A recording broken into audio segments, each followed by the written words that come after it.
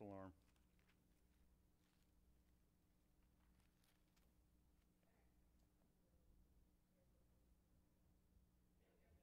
We're good? All right, good evening. It's good to see you in person or online. Um, Sam is not here. If you don't know, Sam and Kim are, have they made it to North Dakota? Okay, but they're en route to North Dakota uh, as uh, Hannah's moved up there to take her new teaching position. And so pray for them. They'll be on the road all this week, and they'll be up there and coming back sometime next week, and they'll be here for the grand reopening. So, so we don't have any music because um, basically my only music is to hit a YouTube video, and uh, we can't get that working. So, uh, so we're just going to move into kind of a prayer time and uh, and just uh, just praise the Lord. Um, anybody just want to do praise the Lord for a great day, His goodness and His watch care. Uh, anybody have a praise you want to voice in the house, and then I can let the online group know. Anybody got a word of praise? I do pray. Yes, it's not as hot as it was last week. Praise the Lord. Uh, do praise the Lord. Mom is doing uh, lots better, and maybe at church Sunday if all works out. So praise the Lord for that. Okay. Any other word of praise?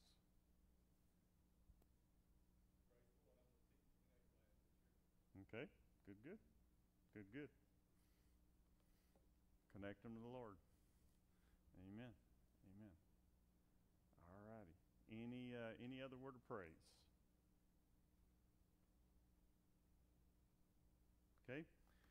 Well, we just want to um, open up here with just a few moments of silence, uh, as we have been doing for quite a while, and just calm our hearts before God, and then basically just uh, I'm going to take us through just time of prayer and confession, and and then we'll dive off into uh, to the lesson for tonight. So let's just go, Lord, in prayer uh, for just uh, some silence.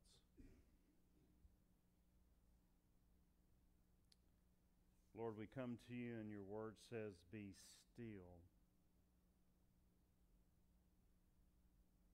And know that I am God.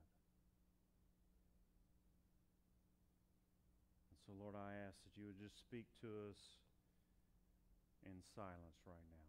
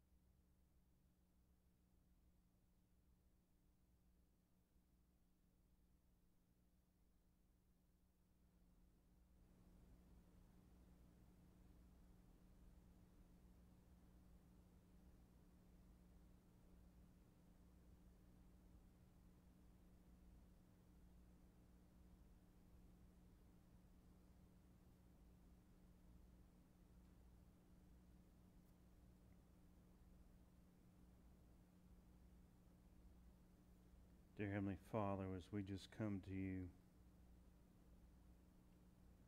Lord, we're grateful that you can even speak to us in the silence.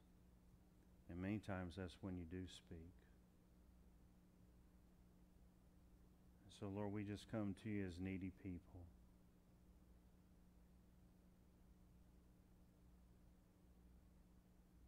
Lord, we've all had stress and trials and tribulations and different thing going on in our life. And Lord, I pray that, Lord, we just uh, put that at the cross. Lord, we are grateful that we can just come and talk with you. And Lord, I just pray you would speak in our hearts. Again, as we just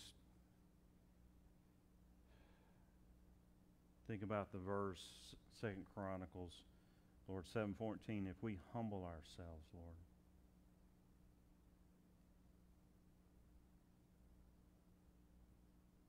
if we'll humble ourselves and be willing to seek your face, call on your name, you hear our prayers, Lord. And so, Lord, I just pray as we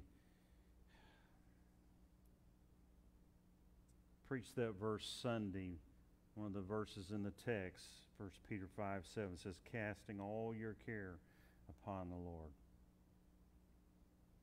because he cares about you. And Lord, we just cast everything in our lives upon you, Lord. And Lord, we're grateful that even though we may have a boatload, it's nothing to you. And as your word says, there's nothing too difficult for you. But Lord, as we cast things upon you and as we think about our relationship with you, Lord, Lord, help us to take introspect, Lord.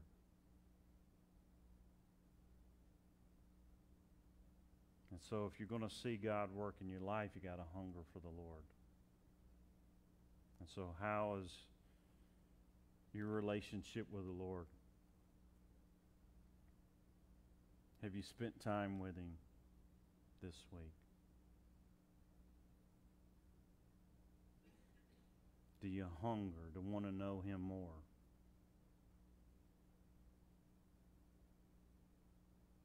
Or have you gotten in a rut, which is easy to do, Lord?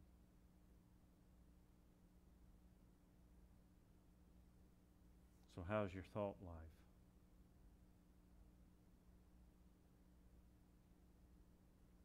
Any forgiveness? Do you need to seek God's forgiveness in anything?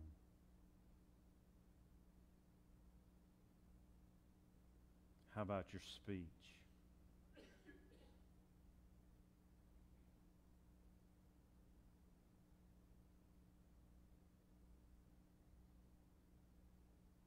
How about your relationships with others or maybe someone in your family? Have you allowed something to cause you to become bitter?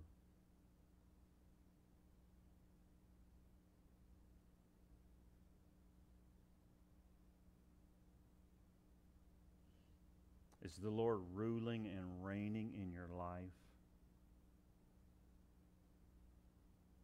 Or are you trying to take control?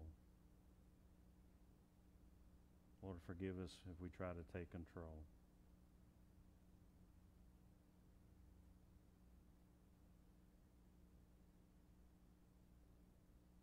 And so, Lord, as we open up your word tonight,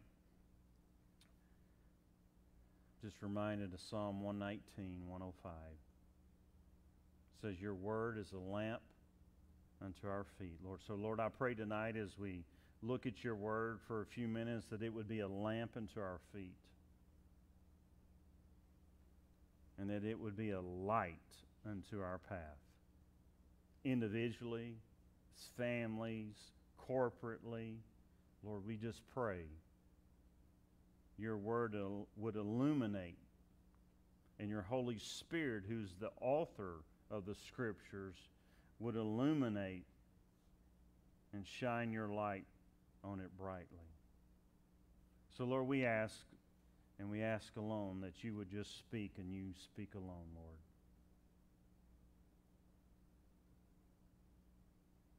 so we're just grateful that you've given us your word. Wow. We have your holy, inspired word, no errors. it's sufficient.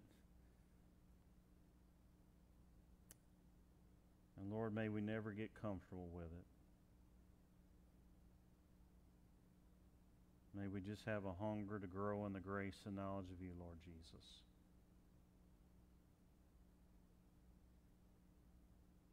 And Lord, I'm just amazed that there's so much in it and so much that we need to apply no matter how much we've been in your word.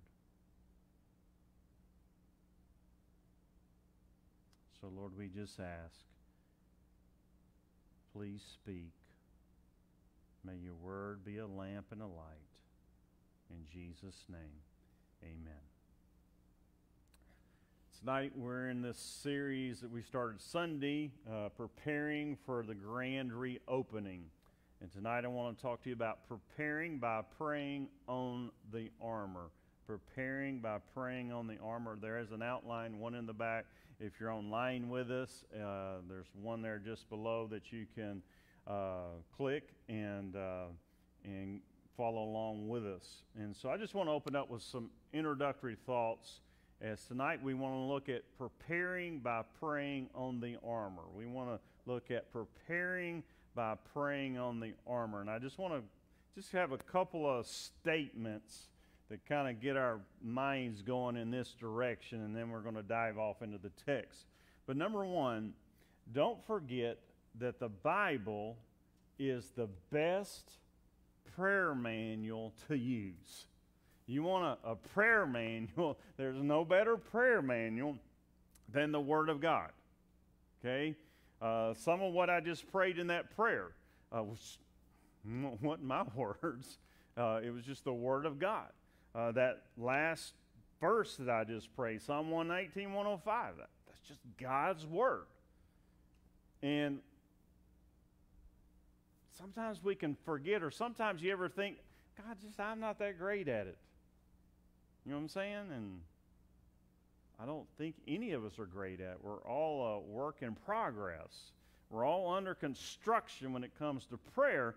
But if you want to know the best prayer manual, uh, have the Word of God open when you pray.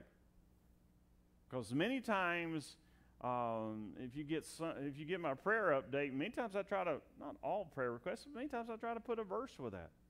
And you got requests too in your own life.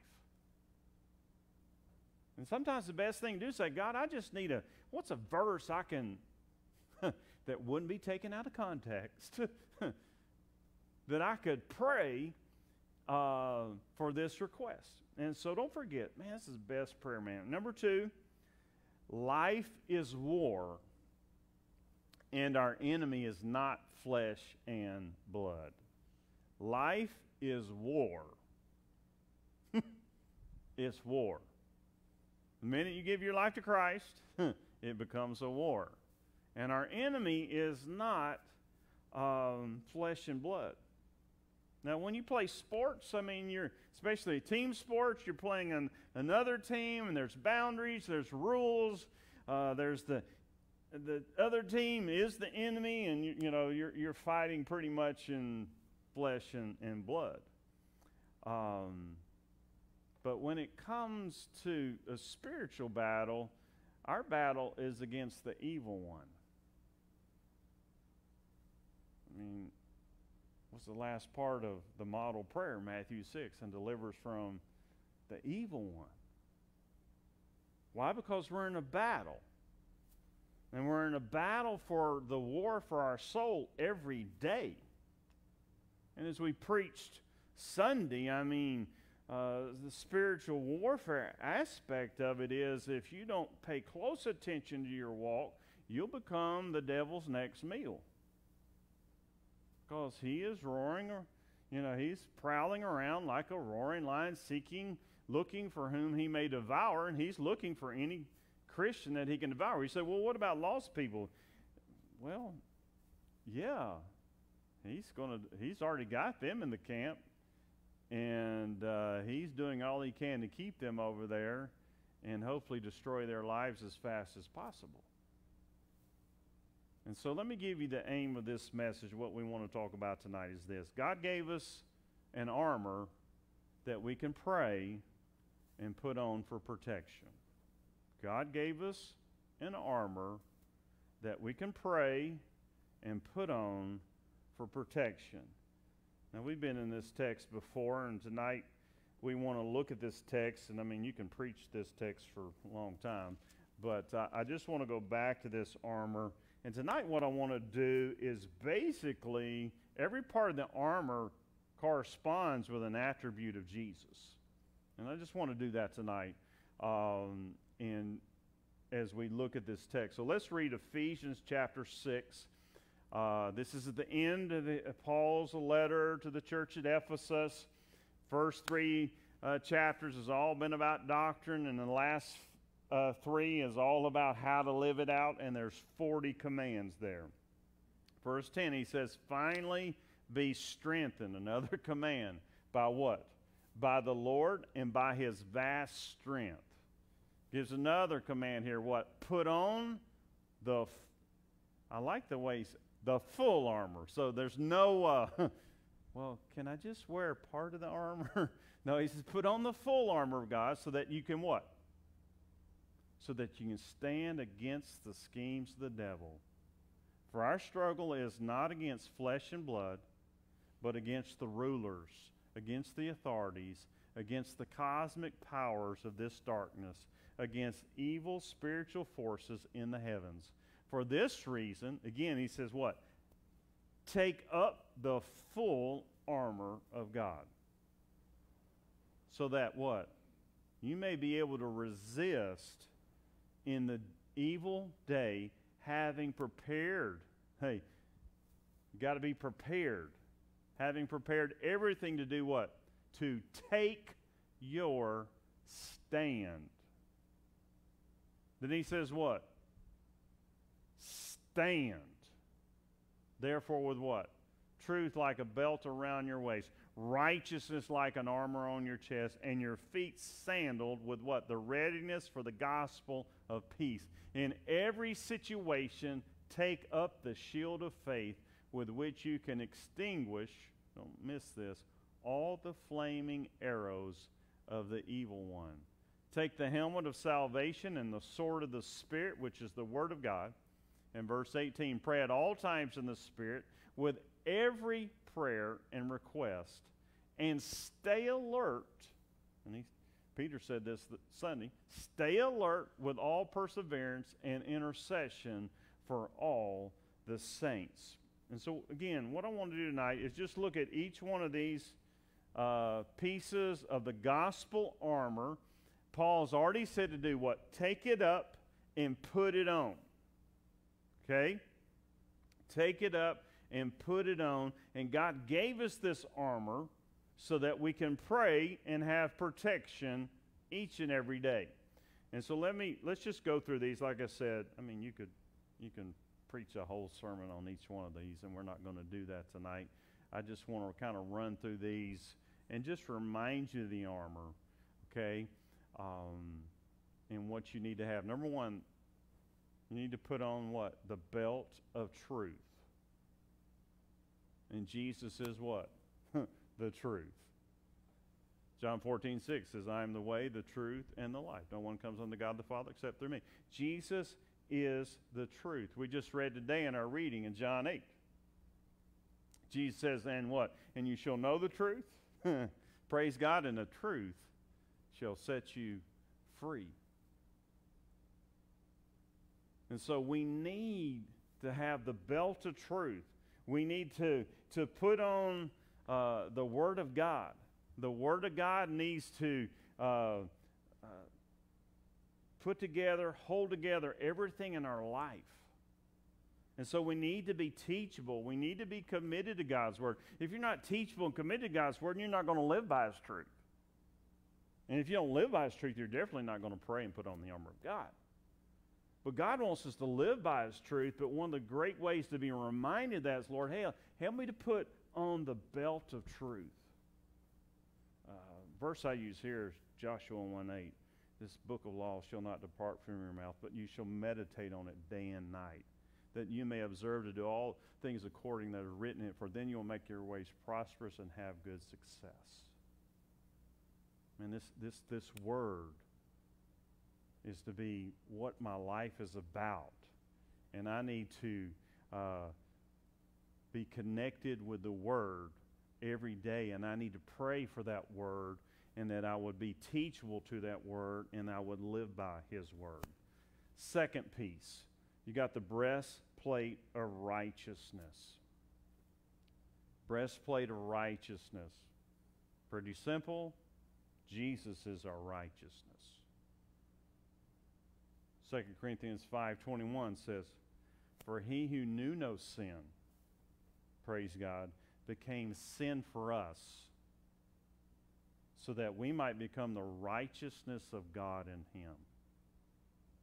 It's not our righteousness, it's his righteousness. And we need to pray on that breastplate of righteousness. Why? So that we might be led by His righteousness, His word, so that, that we might then live what? A clean and obedient life. That we might strive to stay close and clean. That we might ask Him to, to reign um, in our lives. That we might ask Him to reign in what we see. Why Job 31 1, I try to pray this out Lord, I made a covenant with my eyes. Why then should I look lustfully upon a young woman? See, Jesus wants us to live a righteous life. And for that to happen, you got to be willing to put on the armor and allow God to remove the hindrances so that you might walk a right life. What hinders us from walking a right life?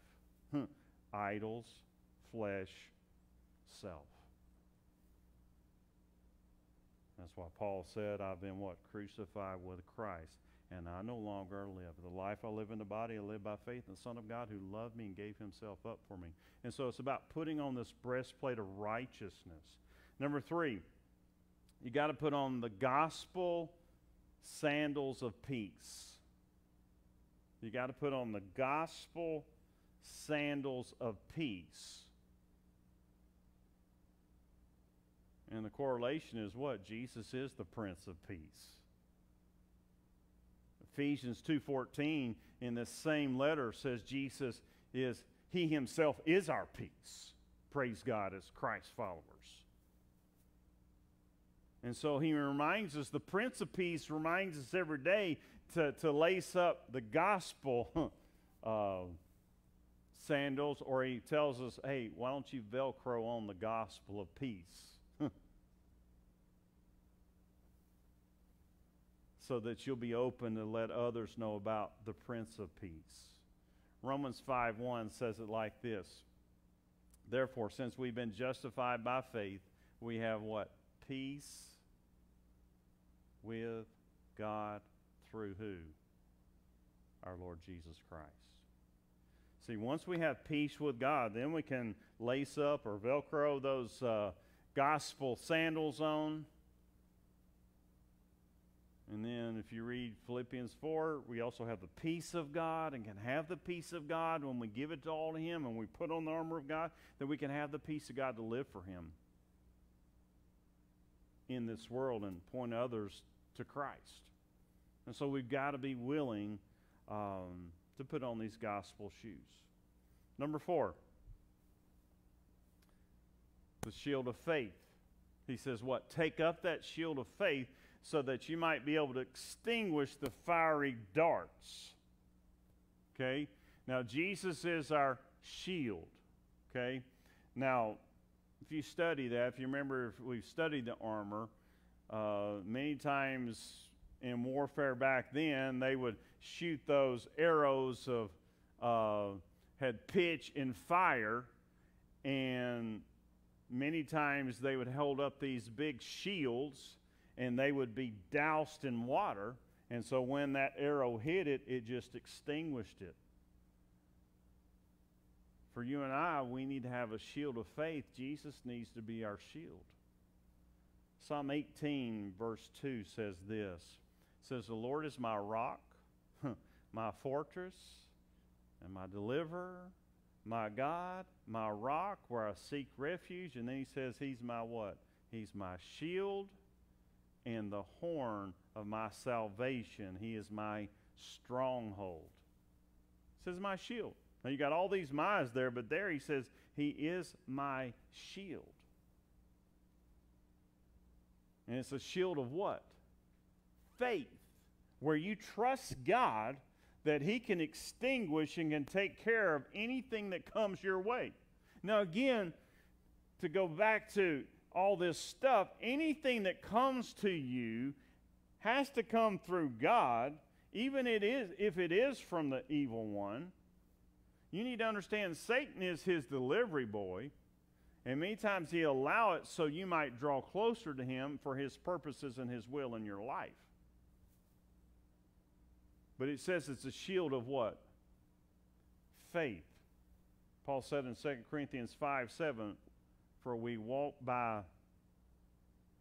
faith and not by sight. That's why we need this piece on. Because many times we, it's everybody included, can li- it's a whole lot easier to live by sight. You know what I'm saying? Let's just go back to the, the gospel one. It's like, it's like, Lord, there ain't no way that person's going to give their life to Christ. I've talked to them, they're my family or they're my friend or whoever they are. They're never going to give their life to Christ. And by sight, they're not going to the way you think. But by faith, believing, yeah, God, you can, you can save them. They're still alive, they still have their mind. There's still people sharing the gospel with, and I'm going to pray that they would come to know you as Lord and Savior. See, we walk by faith and not by sight. Most of the time, we want to walk by sight. Why? It's just, it's easier. Faith means I have to put on this armor and I got to trust God and trust God knows what's best for me around the corner. And He does.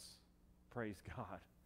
Knows what's best for us around the corner. It's just sometimes we forget it. You know what I'm saying? And so that's why we need to put on this shield of faith. Number five, put on the helmet of salvation. The helmet of salvation. Why? Because Jesus is our salvation. He's the one that saves us. You might want to put on your helmet every day. Acts 4:12 says this: There is salvation in no one else, for there is no other name under heaven given to people by which we must be saved. Jesus' name actually means God is my salvation. He's our Savior. We got to have that helmet of salvation on. But you also need to put on that helmet so He's guarding our thought life every day. That's why we looked at that text in 2 Corinthians 10 3 through 5, where it talks about how we have weapons to fight these strongholds and these battles. And, and one of them is, is verse 5 says, taking every thought captive to what? The obedience of Christ. So we got to take it captive to His Word and to Christ. And so that's why we need to have the helmet on. If you don't have a helmet on, you're going to get hurt riding on a motorcycle. If you don't have a helmet on and you go play football, you're going to get hurt if they're playing in full pads. Spiritually, no helmet, no armor. Um, you're fresh pickings for the, the devil because he's got a few arrows that he's going to shoot. And if he can take a headshot, he'll take a headshot and try to knock you out. He can't take your life. But if he can get you discouraged, distressed, disabled, out of the Word, out of church, out of the will of God, he's going to do it. That's what he did. Shoot. He's done that with a lot of people in this last year and a half. Because no armor, you're free game. Number six, you need the sword of the Spirit. The sword of the Spirit. And the attribute here is Jesus is the living Word. Because it says in the text, what? Sword of Spirit, which is what? The Word of God. John 1 1 says, In the beginning was the Word, and the Word was with God, and the Word was God. So who's that Word? Go down to verse 14. And the Word became flesh and dwelt among us, and we beheld his glory as the one and only of God the Father, full of grace and truth. Jesus is the living Word. But we need the Word of God. That's why you need to read and engage with the Word of God on a daily basis. It needs to be a natural activity in your life. You say, well, what if I miss a day? God forgives you. What if I miss three days? Again, God's still going to forgive you. You know what God says? Let's go. Let's get back together. Let's hang out. Why? Because He loves you. He wants to speak to you. He wants to help you. He wants to protect you. He wants you to understand hey, this is warfare. And you better get buckled up. Um, and we might want to get buckled up um, even more with the days coming ahead. And so he says, Man, you got the Word of God. This is a sword, right? And he says, Learn how to wield this sword. Use it in your life, use it in prayer. But you got to understand, you got a sword. And you only come to know that as you read and engage with the Word and spend time with Him in the Word. And the great thing is, no matter how much time you spend with Him, no matter what, if you'll spend time with Him and look into His Word, God will speak to you. And then if you'll use His Word and put on the armor, God will speak to you and use you through prayer too. So let's move to the seventh piece. And I think this is the piece of the armor. I mean, some people may disagree, uh, but I do think it is. Verse 18, he says, All right, pray at all times in the Spirit. So we're to put on each piece of the gospel by praying it on so that we may be clothed in Christ. And this word here, pray, is in the present tense Which means, hey, we're to pray continually. It's every day, at all times, as God gives us the opportunity. We're to pray. We're to put on this gospel armor. We're to stay alert. And as we pray and put it on, we're praying so that we might be clothed in Christ. So that we might live for Christ. Say, why do you pray on the armor? Well, number one, I already know it's, it's warfare. Number two, I want to try to please Christ. Number three, I want to try to stay close and clean to Him. Now, you say, hey, what if I pray and put on the armor? I start doing it every day. Does that mean I'll never be confronted and never have sin? No, that's a lie. you might have more confrontation on a daily basis, to be honest with you. But you are prepared because you know what's coming up.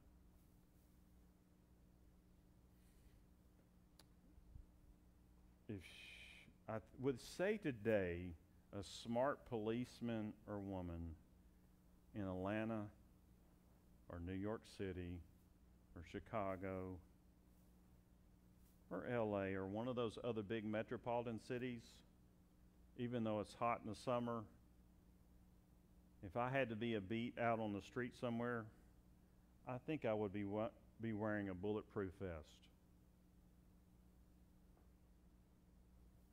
Because they don't know what they're going to face. They don't know what attacks they're going to face from criminal, criminals and enemies out there today. Same goes for you and I. You and I need to pray and put on the armor of God. Why? Because the devil's coming for you. And he's not going to come at a time you expect. Most of the time, he's going to come at the worst time possible. And so we need the power of God in our lives. How's that access? By praying on the armor. See, God gave us an armor that we can pray on and put on for protection. You say, how do you pray it on? It's, it's just simple. The manual's right there. Even if you don't put a verse Lord, help me to put on the belt of truth today. Lord, I want to live by your truth. Help me to put on the breastplate of righteousness. Lord, help me to, to live according to your righteous standard. Help me be shod with the gospel of peace, Lord. Help me about promoting your peace and pointing people to you.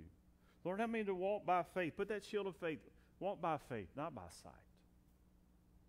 Lord, help me put on the helmet of salvation. Lord, Lord, I thank you that you saved me. Praise God. But Lord, help me to take those thoughts captive to you today. Lord, help me to use what? Your word, your sword.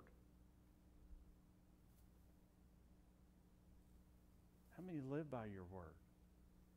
Walk by your word. And then pray. Lord, help me to pray in the Spirit. Guide me. And you just pray and put it on. You're like, can I add more to that? Yeah, it's, it's your prayer life, okay? But if you don't put on any gospel armor, you're not covered. Because, and, and let me just say this just because you prayed it one yesterday doesn't mean it's good for today. Just like yesterday's filling of the Holy Spirit is no good today. Because it says, one chapter over, it says, be filled, be being filled with the Holy Spirit in its present tense, which means every day continuously. So yesterday's not going to be just like yesterday's manna huh, wasn't even good for the next day. And so you and I have to pray and put on this armor. So I'll just encourage you with this. We all have war. Life is war. But our enemy is not flesh and blood, it is the, it's the devil. And we just need to be reminded of that. So pray and put on the armor. If you have any problems with that, just ask. We got people around here help you. I'll help you. But I just say just just go down right through the passage there and pray it on. Simple as that. And before long, God will give you some neat verses to put with them, and He'll give you a lot more creativity than I got. And then you teach someone how to do it. It's simple as that.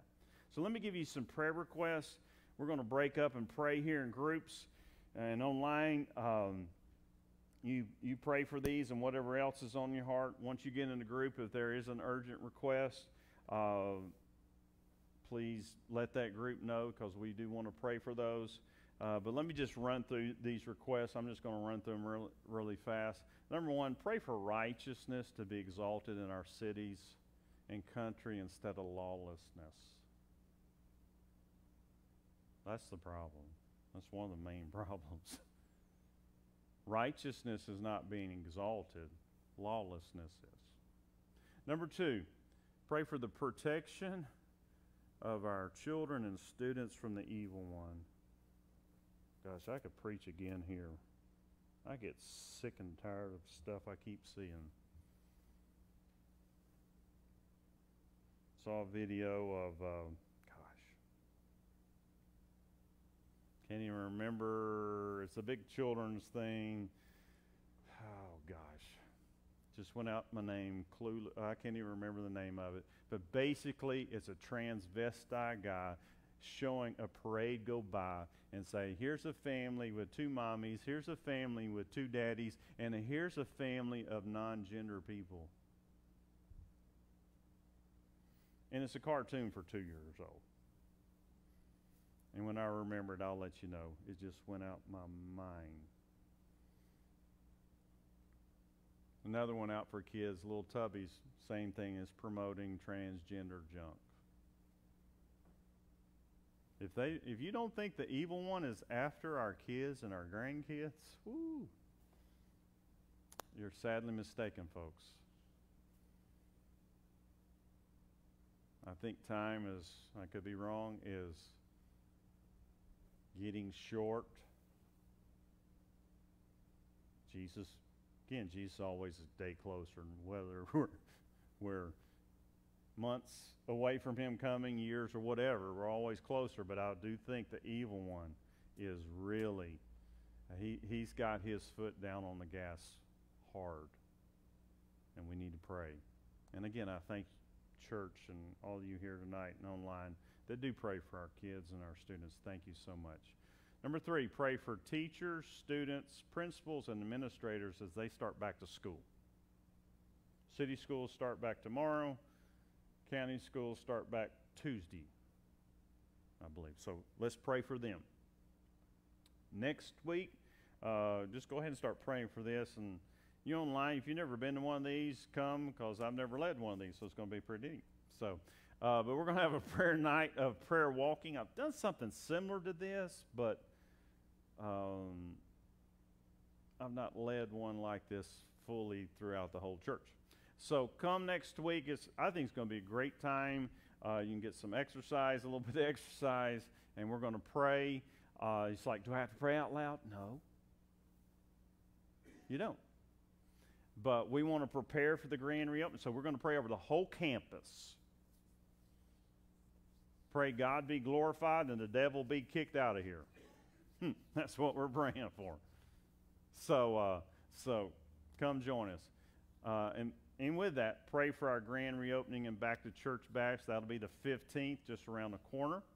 Then number six, uh, pray for God to move at Bethsaida, and we'll see lives changed and people growing in their relationship with the Lord Jesus Christ. Uh, that's what we want to see all the time. People, lives changed. And number seven, pray for revival in our churches. Man, our Southern Baptist Convention desperately needs uh, revival. And pray for, you say, what's the problem? There, this, there needs to be a spiritual awakening all over our country. So, what is that? Where people are awakened to their sinfulness and to the need of a Savior. That's spiritual awakening. When people start realizing and start asking you, man, what's this Jesus about? And people all over start getting saved, that's a spiritual awakening. But most of the time, it starts with the house of God and is birthed out of prayer and revival. So that's why we pray for these things. Okay? So you online, um, don't miss Sunday. If you're online, go ahead and get your juice and crackers because we're going to celebrate the Lord's Supper. If you're in person, we're going to celebrate the Lord's Supper. Um, and it'll be okay. You won't be passing bread or juice to people. Uh, we'll have it on tables, and you'll come down and pick your individual cup and go back to your seat so you won't touch anybody else's stuff. So uh, we're going to have it as um, socially distanced and what I can't remember the word, kind of like Chick Fil A, where as few hands as possible are touching the food and the stuff. So, so uh, but we'll be doing that um, Sunday. And I think that's going to be a neat time as we just celebrate. Lord's Supper is always a neat time as we celebrate as a church. Okay? So I hope y'all have a great uh, time of prayer online and uh, see y'all Sunday. And so let's get to praying in the house too. So we should be able to break up into